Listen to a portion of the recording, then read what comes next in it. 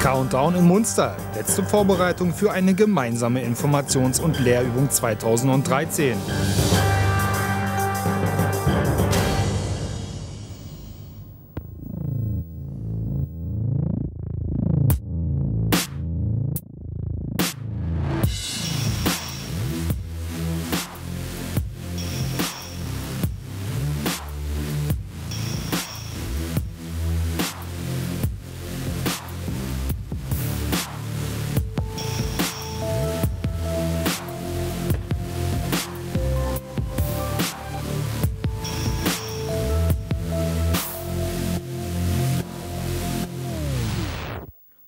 Truppenübungsplatz Munster, die erste Station der Informationslehrübung Landoperation 2013.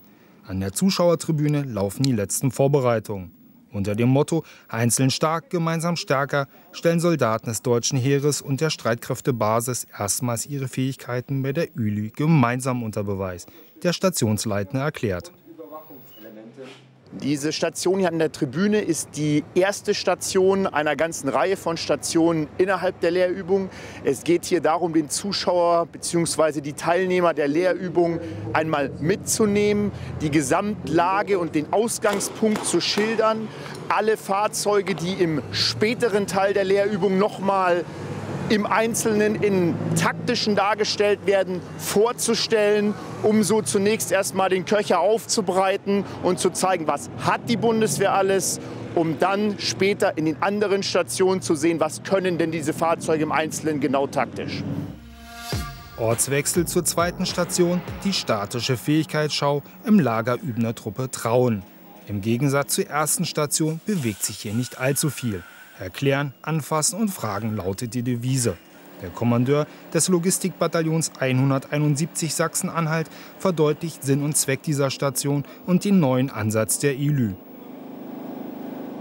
Das Ziel dieser Station ist es, dass entsprechend die Besucher, die die bewegten Bilder am Vortag und am Folgetag sehen, diese Fähigkeiten, die sie nur hören, sehen vom Weiten, hier anfassen können und direkt gezielte Fragen stellen können. Bislang war das immer eine getrennte Veranstaltung. Dieses Jahr ist Premiere. Wir werden diesmal das zusammen, oder machen es ja schon bereits, zusammen.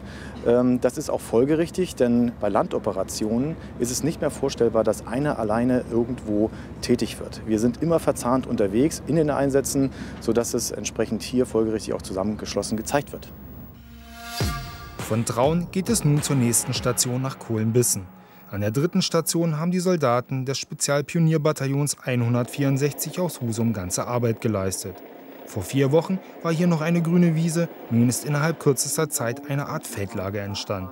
An dieser Station soll den Zuschauern ein Bezug zu den aktuellen Einsätzen der Bundeswehr ermöglicht werden, wie der Kompaniechef näher erläutert. Also hier an der Station wollen wir den Besuchern der Übung demonstrieren, wie eine FOB, also eine Forward Operating Base, eine vorgeschobene Einsatzbasis, eingerichtet, erbaut und betrieben wird. Die FOB ist dafür da, Truppe hier abgesetzt von festen Liegenschaften unterzubringen.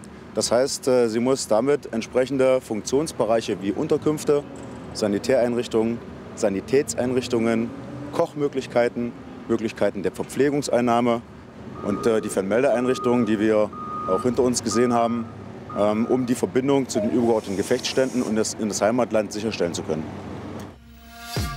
Sprung zur letzten Station auf die Schießbahn nach Bergen. Zu jeder Informations- und Lehrübung gehört natürlich auch ein Gefechtsschießen.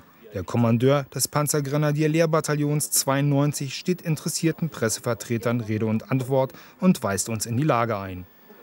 Das ist äh, wahrscheinlich nicht nur eine besondere, sondern vielleicht sogar die bedeutendste Station. Sie ist am Ende der Informationslehrübung platziert und stellt den Höhepunkt der gesamten Lehrübung dar. Sie sehen heute hier das Zusammenwirken von Panzergrenadieren, von der Panzertruppe, von Jägern, von Artillerie, alle gemeinsam, die einen Auftrag haben, der da heißt Angriff in die Flanke des Feindes. Wir haben drei Wochen Zeit zur Vorbereitung. Wir beginnen damit, dass wir zunächst mal Einzelbilder üben, jede Truppengattung im Grunde für sich. Äh, in den verschiedenen Funktionen und Bereichen. Dann fügen wir peu à peu das Ganze zusammen zu einem Gesamtbild. Schulter an Schulter stemmen Heer und Streitkräftebasis dieses Jahr gemeinsam die Informations- und Lehrübung 2013 in Munster. In insgesamt sechs Durchgängen werden sich davon etwa 3000 Soldaten aus dem In- und Ausland und der Führungsnachwuchs der Bundeswehr überzeugen können. Ein neuer Übungsansatz bei der ÜLÜ, aber auch ein logischer Schritt, getreu dem Motto Einzeln stark, gemeinsam stärker.